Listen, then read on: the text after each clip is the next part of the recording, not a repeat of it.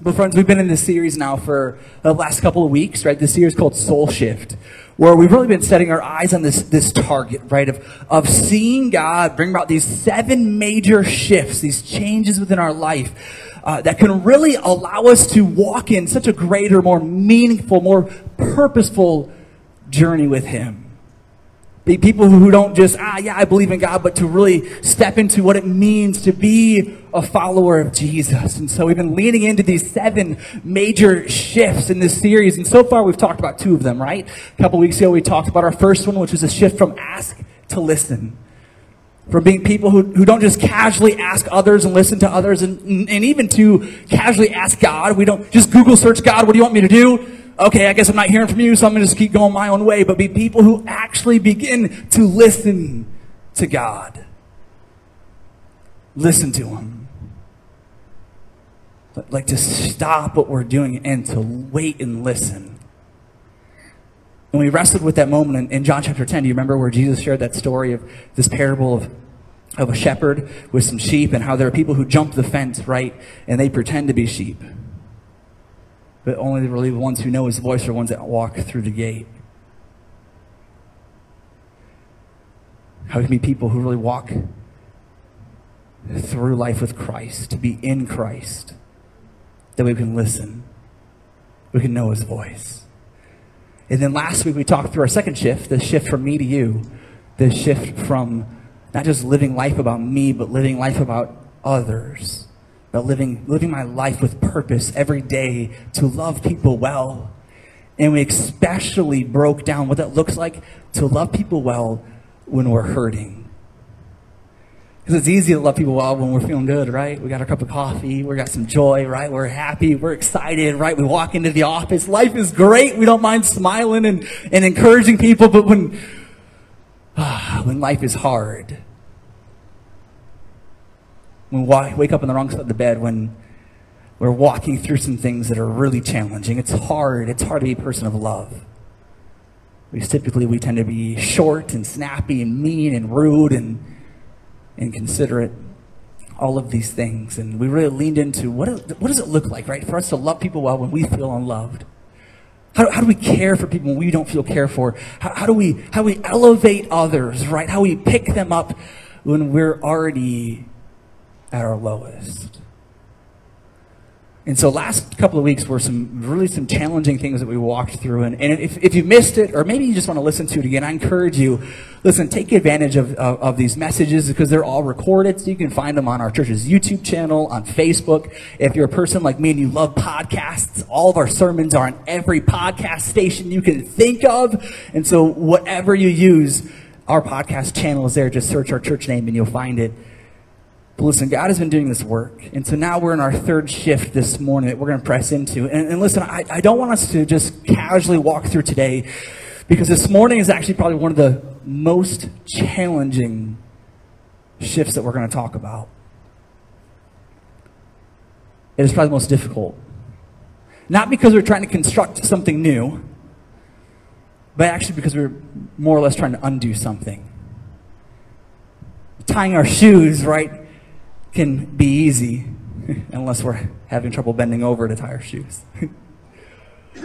but when a knot gets stuck, it's a pain, right? You can yank at it, pull, but you can't go anywhere when you got a knot in your shoelaces. And this morning, there's a knot in our heart. Someone's been there. Maybe we don't even know it's there. That we need to, we need to talk through this morning. The shift that honestly is the door. It is, it is the, the key to much of these other shifts that we're going to talk through. And Jesus best begins to explain this shift in our journey with him in, in a story that maybe you've heard of before. It's, it's a parable that he, he told. He spent a lot of time telling it. He was actually in the company with a lot of different people. He was in the city of Jerusalem at this time, and, and he had his disciples, of course, with him, and he has some Pharisees, right? These religious leaders, these people who are looking in and looking for uh, to kind of cast some judgment and to be criticizing and all these things, and walking into that moment with a bitter heart. And and there are also people there who are often seen as people who are hated by God people like tax collectors, people who are sinners, people who, who right, who, oh, you are scum of this earth. You need to give it away. And then there's everyone else. There are people listening to God, listening to Jesus in this moment as he shares this story. He shares a story of this really wealthy man, really wealthy man who, who had great influence in his community. He had, he, he had a, a, a great uh, image across the nation, uh, around his community. People knew him, respected him, and, and this man had built quite an empire. And, and you see, what's rather incredible is that he had two sons who everyone thought were going to take over the family business someday. These two sons who were, who were growing up underneath him, they'd spent their whole lives working in the family business. They spent their whole lives learning the trade. But then all of a sudden, one day, the younger son comes home from working. He says, You know what, Dad? I'm tired of this. I want my cut. I want what's owed to me. I want, I want my inheritance. And so he goes up to his dad and says, Listen, I want, I want what is owed me. I want my inheritance you know, I, I kind of wish that you were dead. I kind of don't really care about you or family or this, this business of ours. I just, I just want my money. I want what is mine. And to everyone's complete surprise, the father gave him his inheritance. And so the younger son, he, he left the house. He, he went out and with such great fortune, with such great wealth in his pockets, he began living out all of the fun that he had been wanting to for so many years.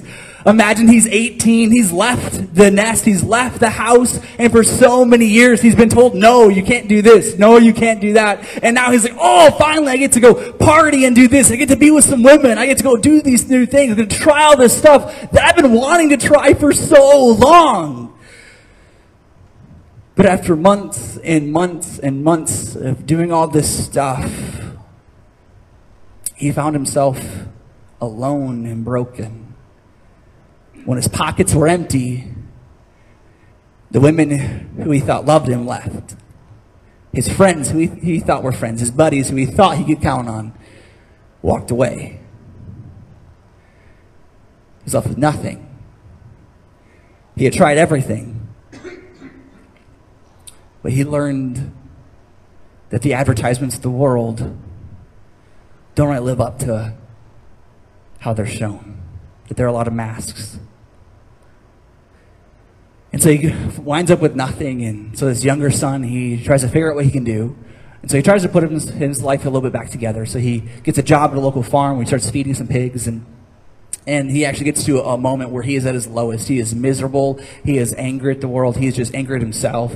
And he says, you know what? If I could just have some of the slop I'm feeding the pig, maybe I'll be happy. Maybe I'll be full. I'm so hungry and so low. That's where I'm at. And then all of a sudden he has this idea that maybe, that maybe I can go back home. Maybe I go back home and, and maybe it's been a while. Maybe my dad is not as angry. And so he cleans himself up as much as he could and he goes home. And he steps on the property, begins walking down the driveway, and, and he sees the house, right? He sees off in front of him as the, as the driveway goes up to the front porch. He, he sees his dad and a few of his staff there on the porch going through some business items.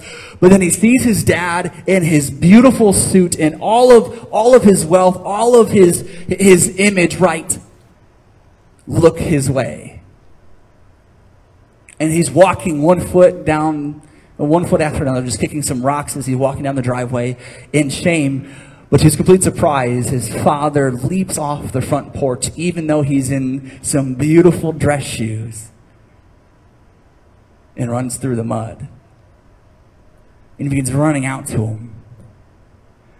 And he's trying to think of the words to say, the son is. But as his father gets closer, he just decides to get on his, on his knees and he says, Dad, listen, I'm so sorry. Please forgive me. Listen, just hire me on as a servant. Listen, I, I, don't, I don't deserve to be called your son. I don't, I don't deserve to live in the house with you. I don't, I don't deserve any of what you had for me before. L- listen, just please forgive me. I'll be a servant. Just put me at the very bottom of, of, of the list. And his father would hear none of it. Said he wrapped his arms around him I gave him a big old hug, big old bear hug, squeezing tight. And with tears rolling down his face, his dad turned around and yelled to his staff that's on the front porch and said, Listen, I need you to bring some clothes. Come on, let's get some, get some things. Let's clean up my son. He's home. Let's throw a feast. Let's have a great big celebration. And he brings him into the house. And when Jesus reaches this point of the story, he looks around. He looks around at everybody who's listening. And they think the story's over. But then he continues to talk. And he says, You know, the night had come, the celebration was going on, fireworks, pew, pew. Everybody was dancing. There was music. It was wonderful. There was ribs for miles. Oh. And the father noticed that his older son wasn't there. And so he goes out out into the fields looking for him, trying to find where his older son is, and he finds him. He's making his way back. And says, Where have you been? Your, your, your brother's home. And the older son looks to his dad and says, How, how can you be happy? How, how can you be happy that he's home? Don't you remember what he did? Don't you remember how he embarrassed our family? How he humiliated us? Don't you remember what he did to you? All the nights of you, you crying and weeping in, in your bedroom because he was gone. Don't you remember what he did? And I've been here this whole time. I've stand by your side. I, I, have not walked away. I've picked up the slack that he let go. Where's my reward? And in complete shock, the dad looks at him and just says, My son. Looks at him and says, My, my son, talking to him, You're my son. Listen, your brother was. We thought he was dead but he's home and he's alive. And then Jesus stops telling the story. He doesn't finish it. We don't know what happens next. We don't know what the older brother does. But Jesus ends the story. And maybe as I told it, some memories came together. And remember, you remember this story. This is a story that Jesus tells in Luke chapter 15. It's this moment uh, that we later on call the parable of the prodigal son or the lost son. And it's this rich story that Jesus tells in the presence of so many different people, so many different backgrounds and different perspectives and ways of life, uh, uh different identities, different things about themselves. Uh, and he tells this, this parable. And, and of course, here we are, thousands of years later from the moment of Jesus telling it, and, and we see this, and we're reminded of the immense love that God has for us, right? We're reminded of the immense love that is illustrated, right, in the Father. Because we know after hearing this parable many times, or perhaps it's your first time, what a privilege it is for me to share with you, that this, this father in the story displays, it, it, he represents God who is in heaven chasing after people, who doesn't come to people with, with vengeance, but he comes to them with, with grace and love to embrace, to embrace them. That is what the image of the, of the Father represents in this story. And, and, we know that. And when we read it, when we talk about it, when we sing songs about it, all our hearts are so excited. But yet we fall short of some greater layers that Jesus is trying to get us to understand. Because we often approach this parable from the perspective of how the Father approaches his kids. But we never talk about how his two sons approach him. And that's where we really begin to step into this third shift that Jesus is trying to bring out within us, this third shift called slave to child. Make sure you write that in your notes. This third shift of slave to child. Because both of the sons have a lot more in common than we think. What's beautiful is that both of them also resemble people. Just as the father in the story resembles God who's in heaven, the two sons also resemble people. The younger son, the one who left, the one who walked away, reminds us of individuals, maybe even ourselves. Those who maybe grown up a little bit in church, who've been around God some, who've been exposed to a little bit of this, this Jesus Christian stuff. But a little bit through our days, we've gotten to a point where, you know what, I just kind of want to do my thing. I, I just want to go my own route. I want to go my, I really want to go have fun and do all these things. I'm tired of, of hearing all this no stuff and all these rules. And so I'm going to go do things my way. And just as the younger son in the story runs off and chases after all of his, all that his heart can desire, so do we run out for all that we can find. We try to find great wealth and successful careers. We try to find belonging in having a, fair, a family and having a, a husband or a wife, trying to have a, a kids, right? Trying to come up with some kind of dream of our own, trying to do something that we aspire to do. We chase after so many things, and even along the way, maybe we try a few things that God really tells us not to get into. But just as the younger son wound up on the other side of his story, realizing that the advertisements of the world don't live up to what is shown, we too find ourselves in a place of feeling pretty broken and empty.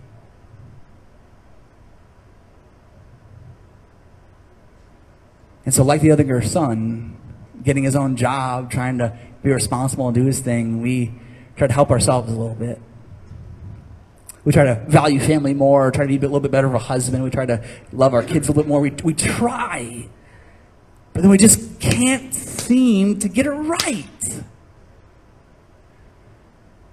And then at some point we, we decide, you know maybe, maybe I'll go back to church. Maybe I'll, I'll try to, to be a good Christian again. And maybe through our whole life, we, never really stopped believing in God, but we certainly didn't want anything to do with Him. And so, just as the younger son runs to his dad full of guilt and shame and says, Listen, I'll just serve you. I'll, I'll be a servant. I will work for your approval. I, I will work and try to earn my place in your business. We run to God and say, You know what, Lord, I, I'm so sorry. I'm, I'm going to try to make it up to you. I'm going to try to earn my way back to you. I'm going to try to get myself doing all the right things. I'm going to try to get everything in order. I'm going to try to be better. I'm going to try to do good. I'm going to try to earn your appreciation.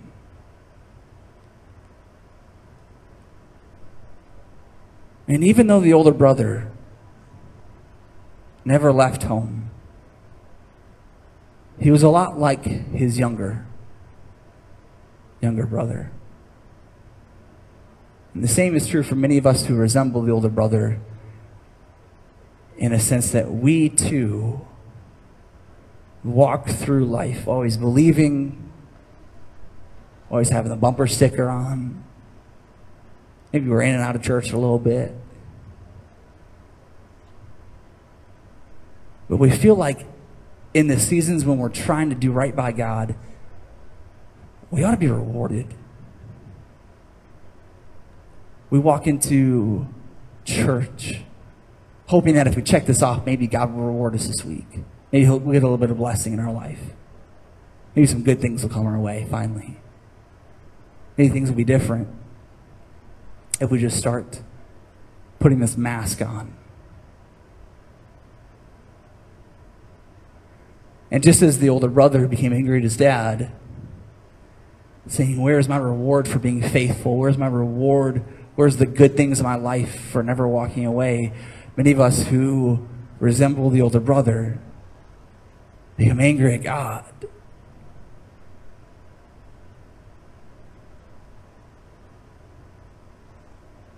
Because we never really were unfaithful. At least we don't think. We never really did wrong. At least we don't think. And so we come into this moment, being angry at God, saying, God, why is my family, why is my marriage still all the same? Why is all this stuff still the same? Why don't I feel you like, like I thought I would? And, and that's the tension of this shift from slave to child. Because both of the brothers, as they approached God, as they approached their father, they both approached him with a heart of just wanting to be good enough, trying to earn their way, trying to show they deserve him, at least for the older brother, trying to prove their worth, trying to build up their own life. And Jesus tries to draw this, this reality in front of us. That, well, one of them was the prodigal son who left and came back. Both of the sons were resistant to go into the house. The first one was resistant because he was full of shame and guilt and said, I don't deserve it. I'm just going to try to earn my way. The other one was full of anger and bitterness and says, Where's my reward? I thought I, I thought I did what you asked.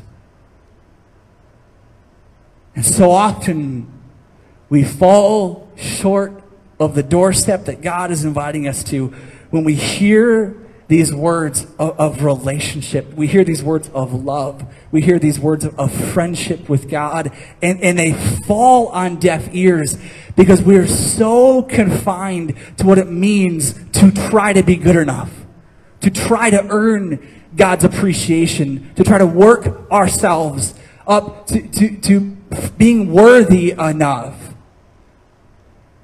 And so we fall into this trap of being a slave of measuring ourselves by all of these rules that many of us put on ourselves that maybe perhaps God hasn't even put on us. We are hesitant, especially for many of us who resemble the younger brother, to even come back to God because having grown up in church, we have this image of what the expectations are. We gotta stop doing drugs. We gotta stop looking at pornography. We gotta stop talking this way. We gotta stop gossiping. We gotta stop all of these things. And so we have this expectation of what it looks like to be in a relationship with God, but we still have an expectation of a slave to a master, not a child to their dad. Are you, are you following me, church? And so, so many of us miss what it's like to walk in relationship with God because we're confined to a sense of slavery, in eh, eh, spiritual speaking, with Him. Because Jesus, later on, a couple chapters later, in Luke chapter 18, he finds himself in another moment with the religious leaders, with all the people who were there before, are now there again.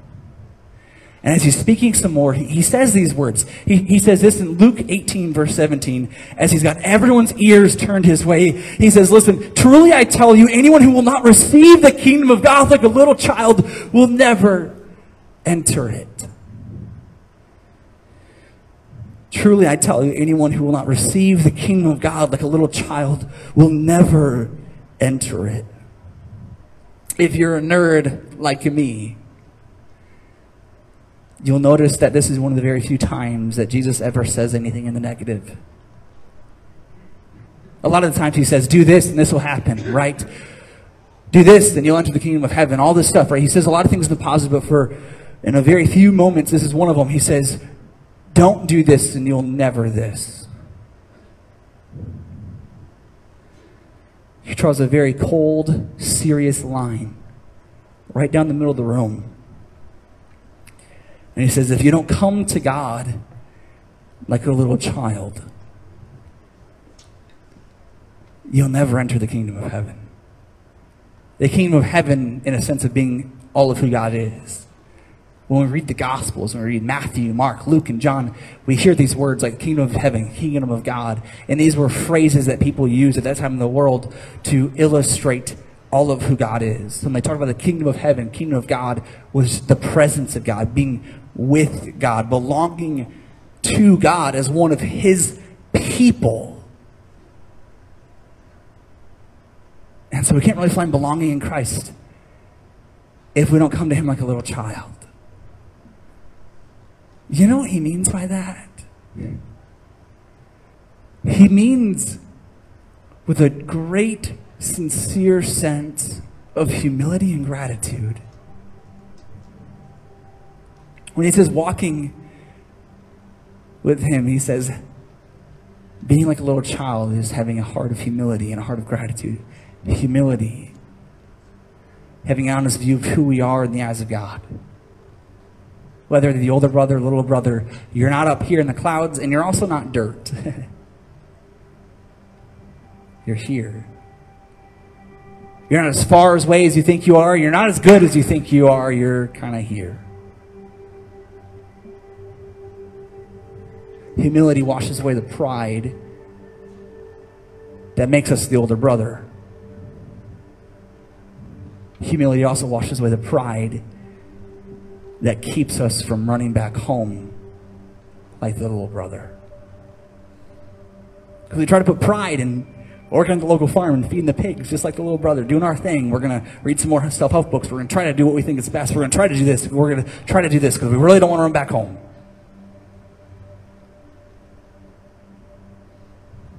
We don't want to bring our shame to God or our guilt to Him.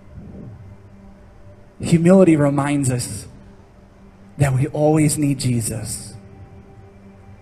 Humility reminds us that as we progress through our days, that we need Him more and more and more. That as we wake up every morning, we wake up with a heart that says, Oh God, I need you today. There's a song I've been listening to a lot lately that I'd never heard my whole life. Having, uh, being an individual who never grew up in church, coming to Christ when I was in high school. I heard this song and I fell in love with it. This song that goes like this. It says, when I rise. No, it goes, uh, in the morning, when I rise. In the morning, when I rise. In the morning, when I rise. What does it say? Give me Jesus. Later on, when I am alone, give me Jesus. And when I come to die, give me Jesus. I know what you're thinking. Maybe I'll try for American Idol next year. But how often do we begin our days of saying, Jesus, I really need you? I really need you today. How often for many of us who feel like we've been walking with God for a while, find warmth again in His presence. How many of us feel like we've been to church for a long time, been doing what we think is right? We've been checking off all the boxes, right? We've been doing our best to keep up with God and to prove ourselves. How often do we find ourselves in a place of saying, Jesus, I, I, I really need you today. I really need you. It reminds me of the song Amazing Grace when that line comes of the sweetness of the first hour I first believe. Remember that? And maybe I butchered, butchered that whole verse, but the sweetness of, of, of God's grace, the hour I first believed. Humility reminds us that we only have life if Christ is in us and that if we are in Him, and that we need Him. And gratitude, being like a child, gratitude keeps us in great appreciation for how our God loves us. This last week, I took Mason to his dentist appointment, our son, three years old, and he did wonderful. We were going throughout the whole dentist office, right? And he was walking around like a little boy. He knew right where to go. He sat in the chair, was amazing the whole time. And all the ladies there were like, You're like a little man. And I'm like, No, he's a little boy, right? He's my little boy. He's not grown up this fast, right? He's not a little man yet. We're there. He's behaving so well. So afterwards, like, all right, we're to go get some ice cream, right? Which, if you know me, really, I just wanted some ice cream. So we went and got some ice cream. And, uh, ran over to McDonald's and we got some dollar sundaes right? And picked up from the counter and all right, Mason, you stay right there at the booth. I'll grab them. So I came back and I was walking to the table. He saw these cheap, basic sundaes, right, with a little bit of hot fudge on them. And you would have thought I was bringing him a horse or a, a, a, a, zebra or some giant animal that he loves from Africa because his face lit up and was like, Daddy, Thank you. Oh, I love you. I was like, I want to bring you ice cream every day, buddy, just like hear that. For some reason, especially for many of us who resemble the older brother, it's like, God, I, I've been faithful for a while. I feel like I've earned more. I've prayed a lot. I've read the Bible a lot. I've been to church a lot. God, I feel like I've had some more blessings in my life. I feel like I want to have this health issue. I feel like my kids want to be a mess. I feel like my marriage would be okay. God, I, I feel like things would be better, but, but what is going on? For many of us who resemble the younger brother, we think, God, why have you walked away from me? We forget how God is, is with us. We forget how God doesn't forget about us, even when we've forgotten about Him.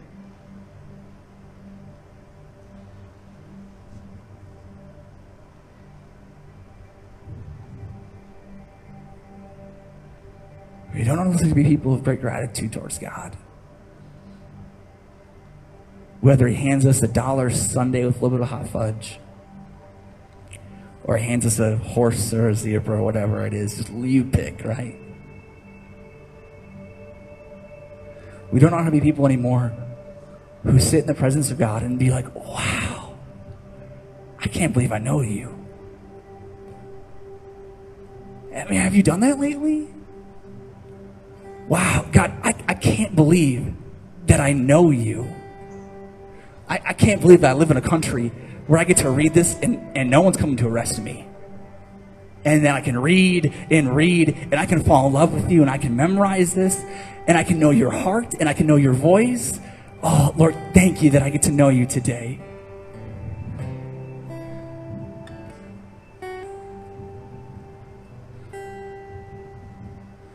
We're people who are not humble in the presence of our God, and we are not grateful. And therefore, we've stayed as slaves, and we have not entered into what it's like to be a child of God. Like the two brothers, one who was on his knees in the mud saying, I'm, I'm not good enough. I'll never earn it. I just, I'm just going to try to work my way up who stays out in the yard, and like the older brother who stays out in the field, angry and bitter, refusing to go in. We find ourselves on the outside of what God is inviting us to, and so many things around this shift of slave to child are keeping us there. And Jesus says, listen, if you have a heart of a little child, come right in. Because that's who our God is all the all the ideas of that we, we plaster on God, all the things that we think about Him, we will always believe.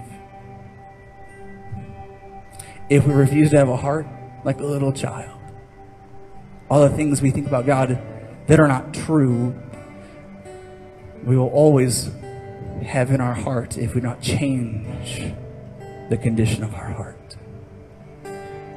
And the opposite is true. We will know what it's like to really know Him. To know what it's really like to hear Him tell us that we're loved and the insecurities, they go away. We'll really know what it's like when He tells us we're forgiven and the skeletons of our closet are, are gone not swept under the rug, but they're gone. The shame that we carry into church and into so much of our life is gone. The regret that we see in the mirror is gone. The lies that we believe about who we are are gone when we make this shift. We make the shift and decide, you know what, I'm going to start being more like a child, longing to spend time with his dad. Mason I loved getting sundaes that day, having fudge on his cheeks and on his nose, loving ice cream. He's so much like me. I love it. Spending time playing in the booth playing games and talking, and even though he's talking gibberish, I have no idea what he's saying, but still enjoying the warmth of the moment of just being together. God is inviting us to that. to put aside all this junk, all these knots in our shoelaces, just set it all aside and know what it's like to really be a child of God.